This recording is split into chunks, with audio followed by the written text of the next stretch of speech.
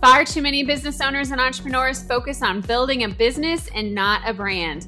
On this Branding Bites podcast, I dish out bite sized strategies to keep your personal brand front and center to make a more significant impact and see bigger results in your business. Hey there, it's Kristin Korn, and you're listening to the Branding Bites podcast, episode number 23 Why It May Be Time to Marie Kondo Your Content Marketing Strategy.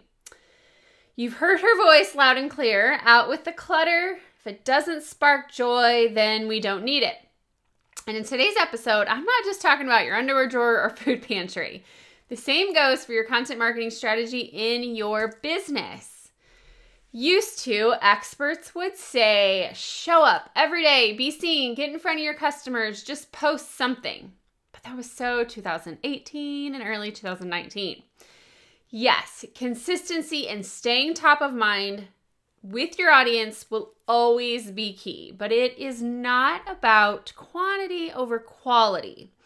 I believe it's the exact opposite quality over quantity when it comes to social media feed posts. And when I say quality posts, I mean more authentic storytelling and better message targeting. These days, even at a beginner business level, you can easily set up a website, publish a blog, start a podcast, create videos, and post to social media, and you can do it really, really well. But now the focus comes to not the quantity of how much you're doing, but the message inside the content you are publishing. Having things automated in your business is smart. I have an entire lesson inside my content marketing strategy and planning system where I walk you through my personal Instagram automation secrets as well as my focus media mix approach so I can expand my digital reach by breaking up a large piece of content into dozens of bite sized pieces. It's a fantastic strategy for staying top of mind, especially on Twitter, Facebook business pages, and Instagram stories with less effort. But when you rely too much on automation just to get something linked from your sites to your consumer, you tend to lose the attraction piece, right? And to me, the attraction piece is the most important because it's what sets your brand apart from the thousands or maybe even hundreds of thousands of others who may be in the same industry as you. When you can focus on building a brand focused business, you succeed at this attraction. But you can't build a brand focused business by having so much random content going out on your account that people don't even understand what you stand for or who you are, or if they are even a niche audience of yours. So, when you feel your content marketing strategy is cluttered and all over the place, it's time to clear that clutter, clutter pull in the reins, and do a spring cleaning to your strategy. If you don't know what you stand for, how is your client supposed to be attracted to your brand? Well, the problem is, is they won't. They might like a few posts, maybe follow you for a bit, but when they see that you're like all over the place with your content, they're going to leave. But do you blame them? I mean, they haven't connect you haven't connected with them on a personal level that makes them even want to stay.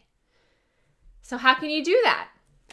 You can do that by turning your brand influence into content that creates a deeper connection with your audience.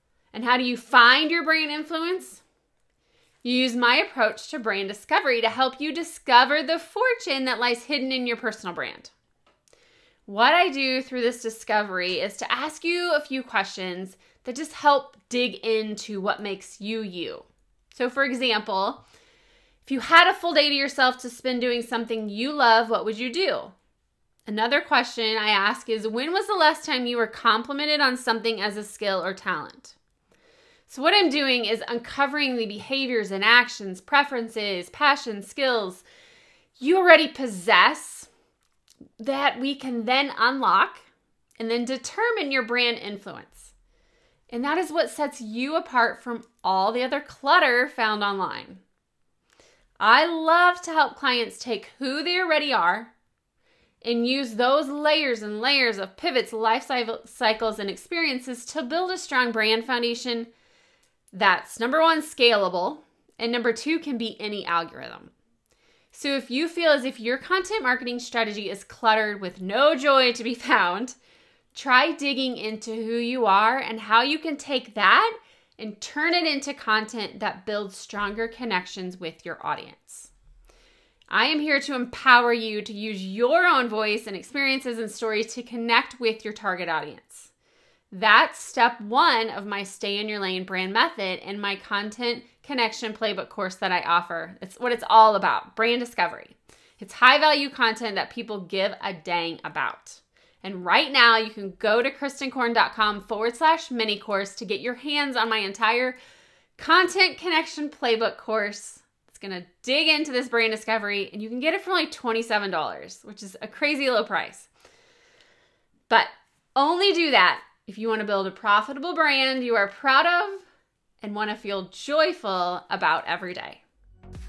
All right, purpose driven CEOs, until next time, keep putting purpose behind your brand. And thank you so much for tuning in to this episode of the Branding Bites podcast. I'd love to hear from you. So hop on over to Instagram at Stay in Your Lane Brand and drop a comment. And if you're feeling extra gracious, please leave a review wherever you caught this podcast.